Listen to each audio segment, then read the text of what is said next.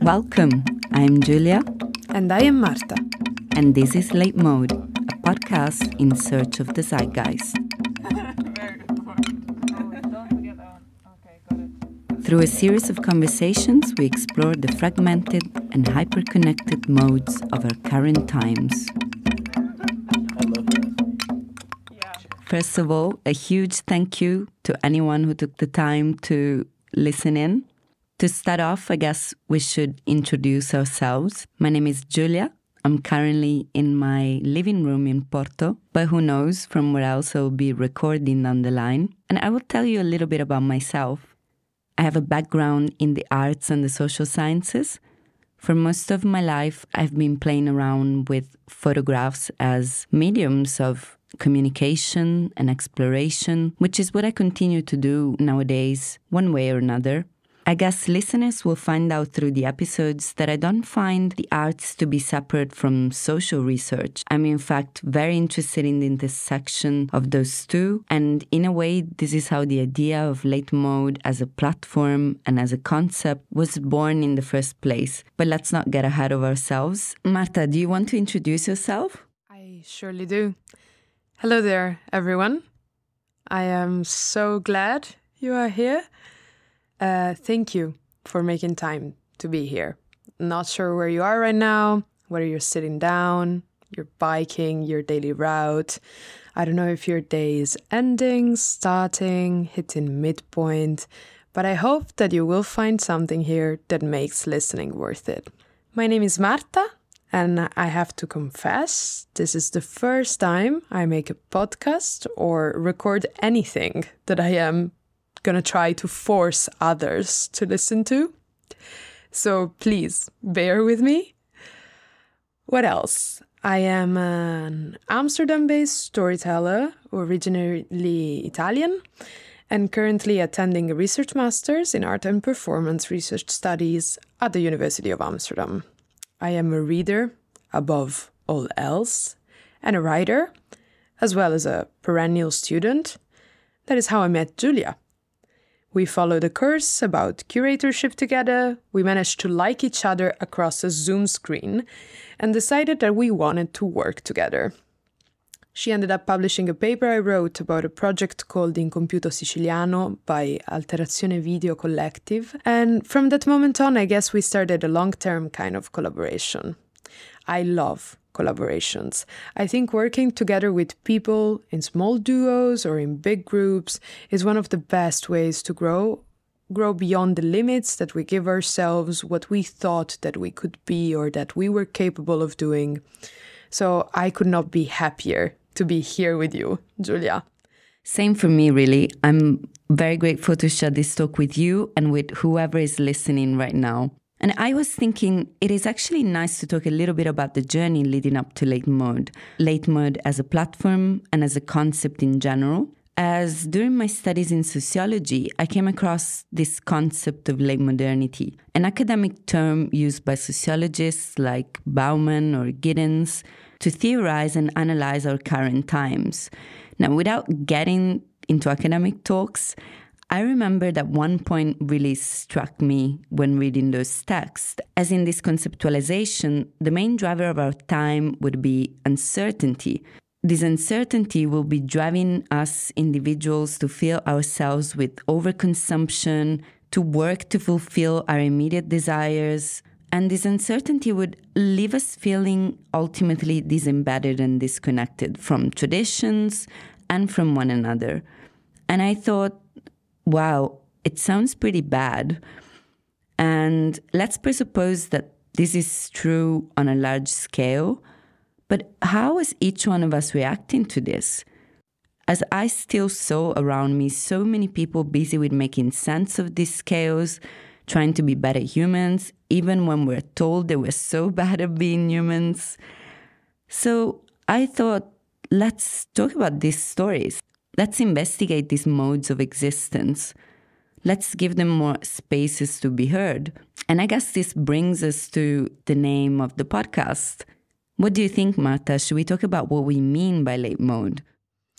Yes, Julia. I think we shall, and I believe I am the person to do it, as I think I have been late to almost every single event in my life past my birth, and that is because my mother scheduled a C cut and was probably the last time I was on time.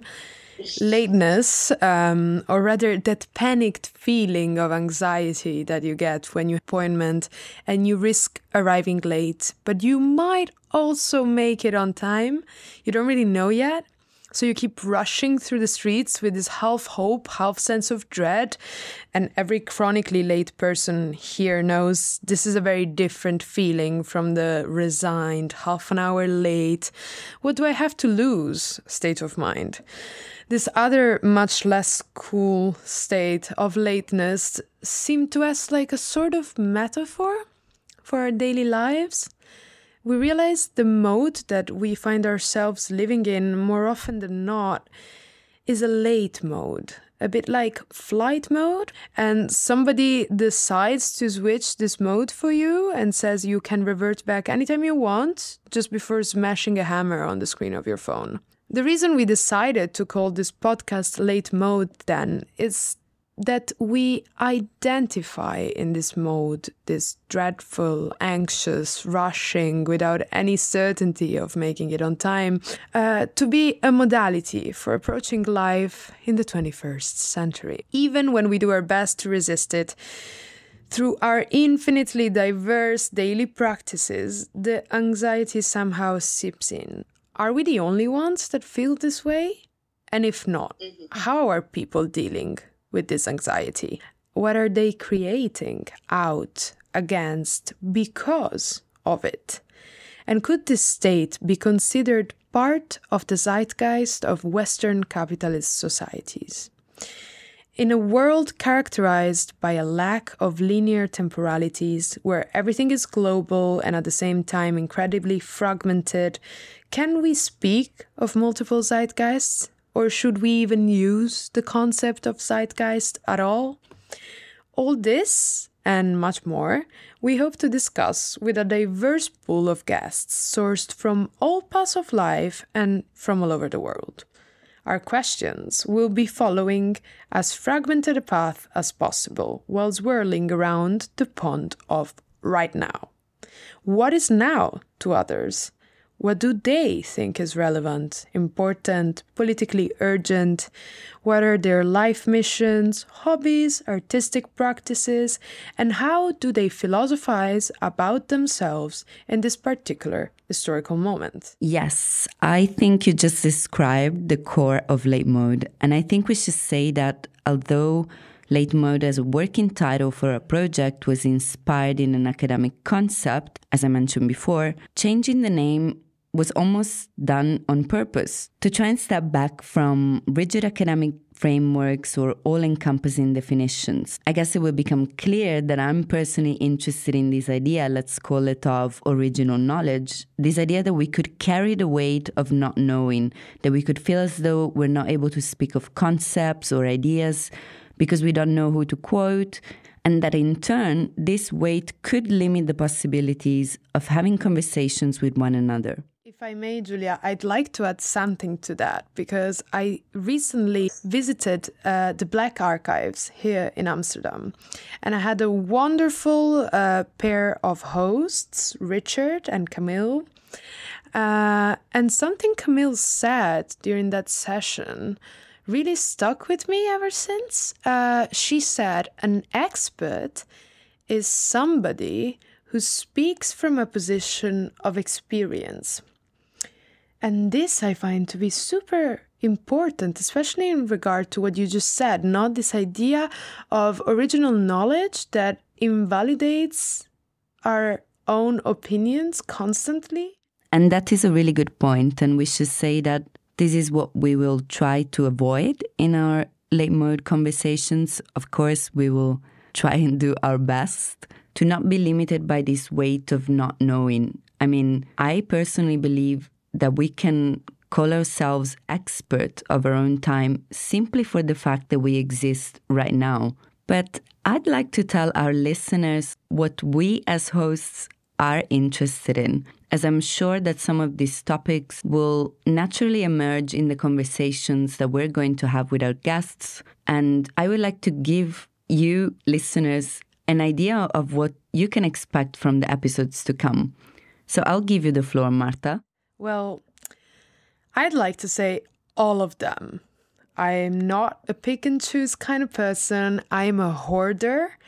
I hoard books and topics and hobbies and interests. And uh, I hope that we get to do just that in this podcast. Because, as we already said, each guest, besides the first ones, um, is gonna choose the topic of the session that will follow. We will briefly give them an introduction to the guest coming after them, and they will have to say, I think that with this person's background, it would be interesting to hear what they have to say about this. And then Julia and I will have to take up the challenge of making a conversation spin around the topic that was suggested. I am so looking forward to this. But of course, I do have my own favorites and things that have been tickling me recently, things that I have been working with um, in my practice and in my life are magic. Um, I'm very interested in magic and in imagination. I'm interested in pedagogy. I'm interested in strategies of care, caring for each other. What does it mean for me to care for somebody um, as a babysitter, as I do as a job, or for me to care for my roommates in my shared housing in Amsterdam? What does it mean to care for somebody as a podcast host? What does it mean to care for a listener? And what does it mean to care for me? And how do I learn to do that better? I am also interested in shared knowledges. I coordinate the Artistic Research Knitting Club here in Amsterdam with the partner Lisa Prince. Hi, Lisa.